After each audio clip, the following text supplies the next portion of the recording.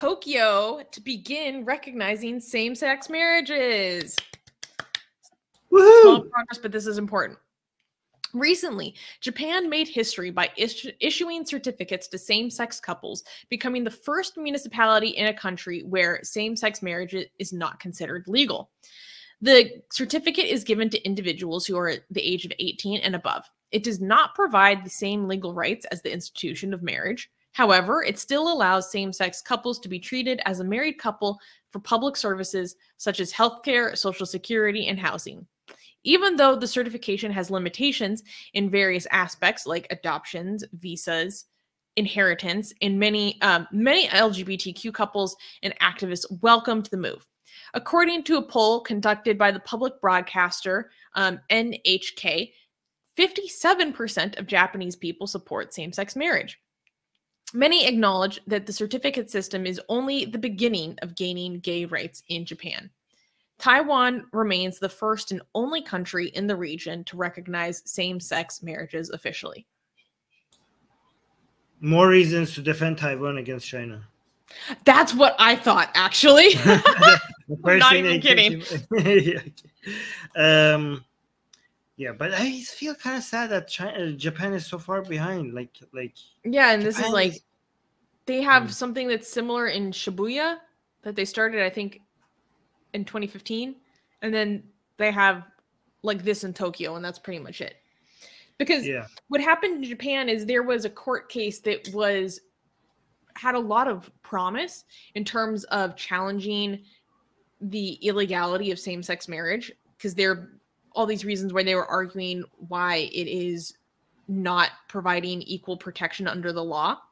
And basically there was a, a lower court that was like very on board and then the higher court basically overturned it all say no this isn't un, un this isn't unconstitutional inequality at all.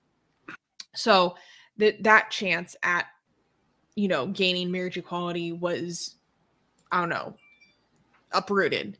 Um but this is like a really positive step in the right direction. I think it's difficult because i don't know there are a lot of things about japanese culture that i don't fully understand. Like there's lots of it that are very open and but at the same time politically it can be very conservative Hmm. so there's like this interesting contention and the the leading um liberal democratic party is like super against providing marriage equality and stuff because they think it's against family values blah blah blah. They might be called the liberal democratic party but they're actually very conservative. Um and yeah so that's been the, the, a huge obstacle this is going to be a huge win for us if, if we can turn Japan because this is the world's like third largest economy, right? i know So it would be a massive win. Um, and it's so bizarre that like a country as advanced as Japan is still behind at this matter. Like you would think that they would be ahead of other people. Mhm. It's, Japan's conservatism confuses me because like when it comes to the if you interpret the thing just based on the culture that comes out of there, you would just think like they're like very far like very liberal. But then you look at it you look at their culture, they look liberal, and you look at their politics, they're like, what the hell? It's like it doesn't match what we're seeing coming out of Japan. it's weird. Yeah. I mean, Yeah. I'm not gonna like um pretend to have some in-depth knowledge or understanding of Japanese politics or anything, but that is like a contention that I find very confusing. Yeah.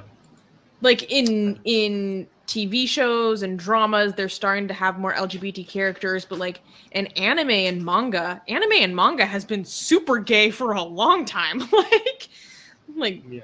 their whole genre is dedicated to it and subgenres and subgenres like there's yeah huge subcultures surrounding all this stuff it's fascinating Get my best selling book, Why There Is No God, for free. Click on the link for it in the description.